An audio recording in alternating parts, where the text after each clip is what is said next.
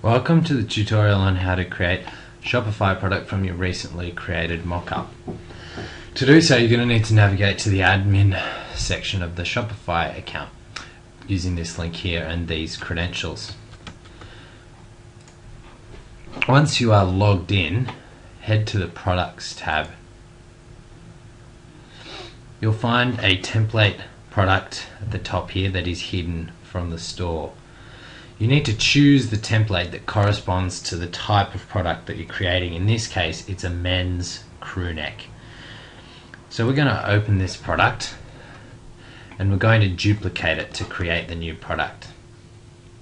First of all, we need to check what the uh, artwork title is.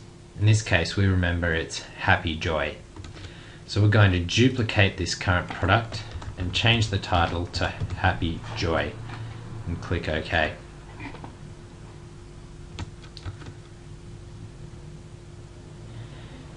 Next we're going to replace the product image with the new image. So we're going to delete this one by clicking the delete button and we're going to choose a file from our folder. So in this case we'll need to navigate to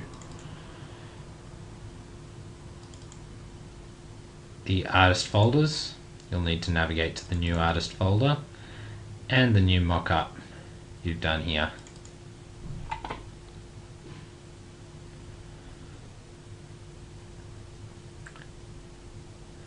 Once you've uploaded that file, you'll need to edit the new product. We need to put the artist notes here from the Formstack form here, artist notes. So just copy and paste those in to replace what's already there. Next, you'll need to do the tagging. In this case, it's a white men and crew crew neck t-shirt you can see the tags there. We also need to add two descriptive tags. In this case, I'm going to put monster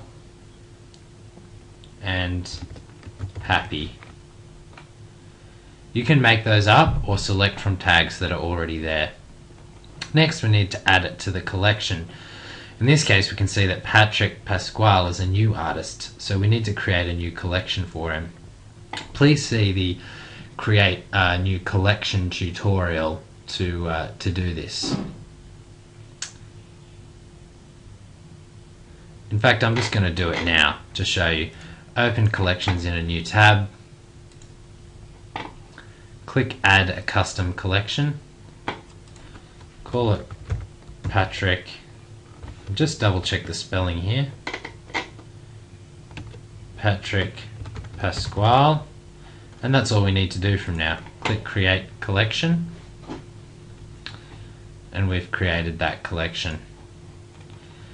Fortunately that won't show up here so we'll need to click update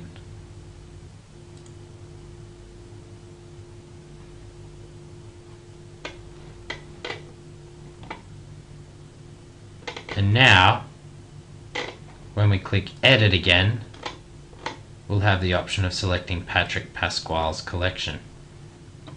Just click update again. And there it is, our new, new product is done. The most important thing now is to make sure this is published. Looks like it's changed, will change to publish from default, but just double check that this product is now published in the marketplace. And that's all.